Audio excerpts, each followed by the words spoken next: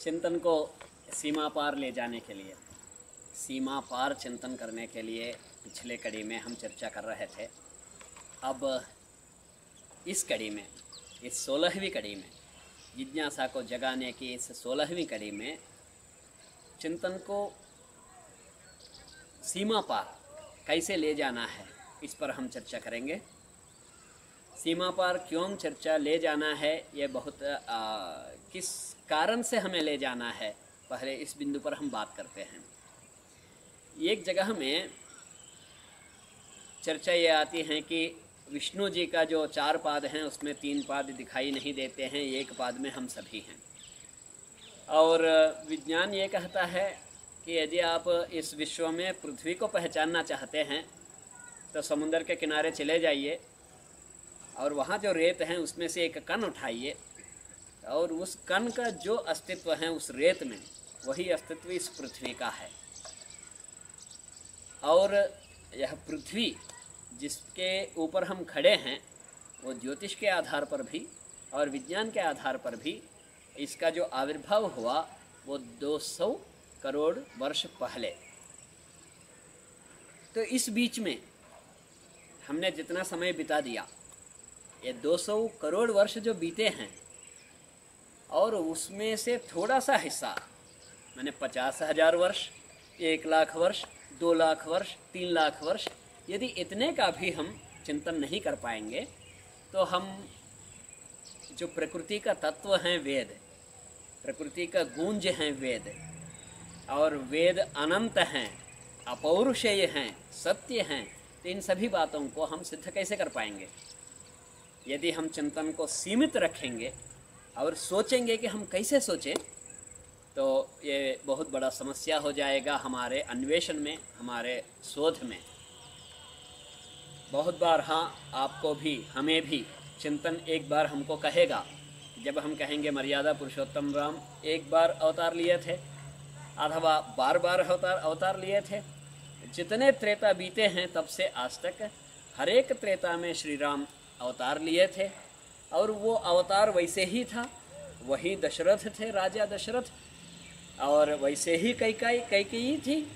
और कैकेयी के कारण फिर श्री राम हर एक अवतार में हर एक बार के अवतार में वो वनवास किए थे।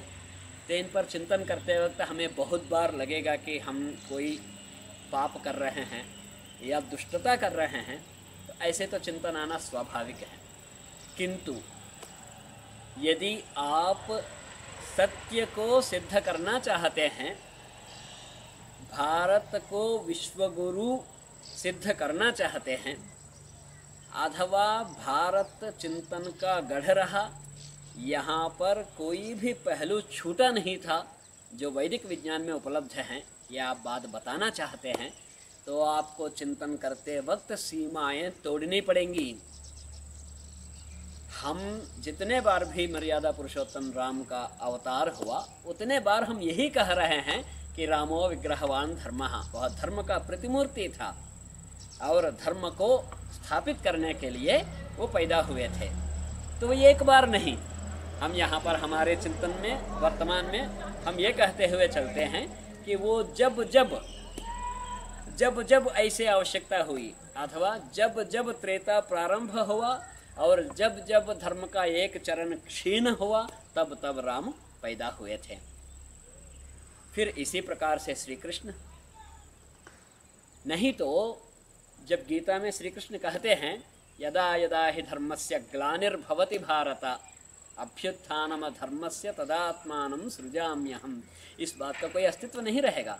एक बार श्री कृष्ण यदि अवतार लिया, और उस अवतार, एक अवतार में श्री कृष्ण को ये कहने की आवश्यकता नहीं पड़ेगी कि मैं बार बार अवतार लूँगा। तो बार बार दूसरे रूप में, अथवा बार बार जब जब द्वापर आएगा, तब तब श्री कृष्ण अवतार लेंगे। यही मानना पड़ेगा। तो यानी यहाँ पर हमारे चिंतन स्तर को, सीमा को, हमें हमारे ही कल्पनाओं से अतीत हमारे ही कल्पनाओं से आगे ले जाना होगा। और इसमें समय नहीं है। हम यदि एक बार ऐसे बैठ के सोचना चालू करते हैं तो हाँ धीरे धीरे चलेंगे। तो हमारे लिए न जाने कितने वर्ष लग जाएँगे, कितने युग लग जाएँगे कि हम अंतिम उस निचोड़ तक पहुँचने के लिए। इसलिए सोचिए। चिंतन में तेज़ी ले आइए। और पहले हम इस चीज़ को स्वीकार कर लेते हैं, मान लेते हैं। कि जब जब कृत युग का समाप्ति हुआ, जब जब त्रेता प्रारंभ हुआ और जब जब धर्म का एक चरण क्षीण हुआ, तब तब राम का अवतार हुआ और वहाँ पर श्री राम के जो चरित्र हैं, उसको देखने के मात्र से ही लोग पहचान लेते थे कि हाँ हम अधर्म की ओर जा रहे हैं। अब हमको रामवत भवितव्यम, यानी राम जैसे बनना है। तो वहाँ पर अपने आचरण मात्र से ही राम समझा देते थे कि हाँ तुम आचरण में धर्महीन हो रहे हो और धर्म की ओर आ जाओ। ये पर्याप्त था वहाँ। यानी यह अवसर बार बार आ रहा था। जो उदाहरण पिछले कड़ी में मैं सेव का दे रहा था, वही उदाहरण है यहाँ।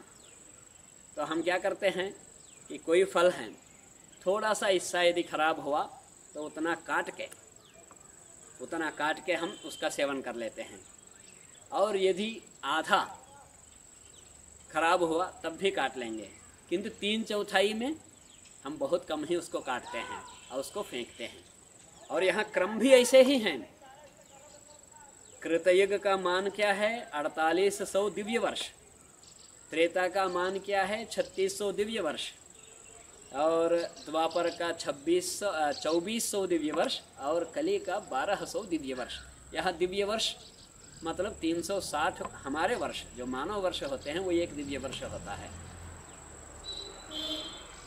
तो यही हमें एक बात और आ, हमारे सामने गुत्थी को सुलझाने का एक रास्ता बता रहा है। जब धर्म पूरे के पूरा चारों चरणों से चल रहा था अर्थात आपके हाथ में जो फल हैं वो एकदम कहीं से भी थोड़ा भी सड़ा नहीं है तो वो बहुत दिन चलेगा तो अड़तालीस सौ दिव्य वर्ष।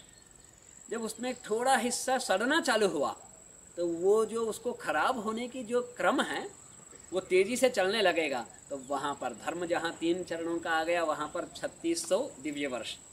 और फिर जब आधा खराब हुआ तो उसको ख़त्म होने में ज़्यादा समय नहीं लगेगा तो वहाँ पर चौबीस सौ दिव्य वर्ष। और जब तीन चौथाई सड़ गया तो वहाँ बारह सौ दिव्य वर्षों का ही कली है। और चारों ओर हम कहते हैं कि ये कलयुग हैं, भैया कलयुग हैं, धर्म नामक कोई चीज़ नहीं है। तो अर्थात अरिषद वर्ग काम, क्रोध, लोभ, मोह, मद, मात्सर्य, ये जो हरिषद वर्ग हैं तो अब इसमें नाचना चालू कर देते हैं। जहाँ देखो वहाँ धोखाधड़ी है, जहाँ देखो वहाँ हमें लगता है कि ये ऐसे गलत किया है, ये ऐसे गलत किया है। तो ये कली का लक्षण है। तो एक चक्र हैं। हमें इस चीज़ को पहचानना होगा। शुरू में ही हमारी बात हुई थी कि काल का माने एक फ्रेम जैसे हैं, वो स्थिर हैं। तो माने वो क्रम चलता रहेगा चलता रहेगा चलता रहेगा और उस समय के तक चलता रहेगा। तो फिर अगले कड़ी में हम इसी बात को बढ़ाने का प्रयास करते हैं, आगे बढ़ाने का प्रयास करते हैं और चिंतन के सीमा को तोड़ने का प्रयास करते हैं और चिंतन को और गहराई से बढ़ाने की, चिंतन की गहराई बढ़ाने का प्रयास करते हैं। तब तक के लिए धन्यवाद।